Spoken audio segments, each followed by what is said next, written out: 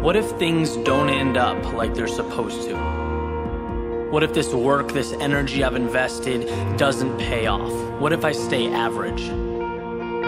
What if my story was never meant to be unique? What if I try and I fail?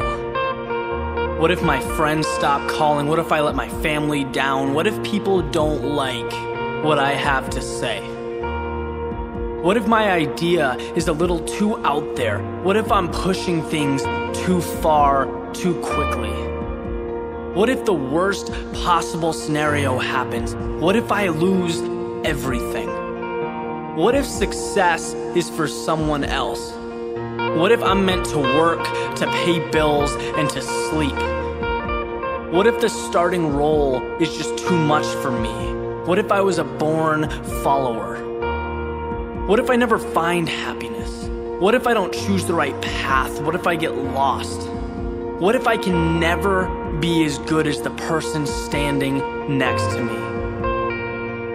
What if a life of meaning will always be something I'll have to stare up at, wishing, dreaming? Or what if I just change the way I look at the world? What if today is just the beginning?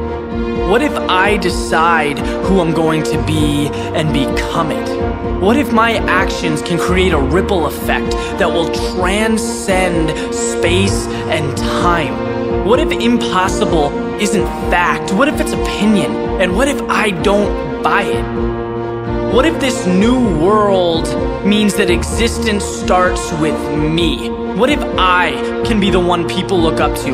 What if my past got me here but has no effect on where I can go? What if every single day is a fresh start? What if I can be the one who defies the odds? What if my dreams become the standard? What if my ideas change how people see reality? What if the term difficult is nothing more than a cop out? What if my doubters ignite the flame that is my success? What if my fear of mediocrity overcomes my fear of the unknown? What if second place is no longer an option? What if I make the choice to live every second of my life like it's a miracle?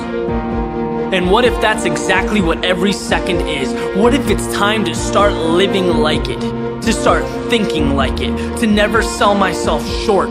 What if nothing good happens until I believe it? What if I stopped wasting my time trying to convince others?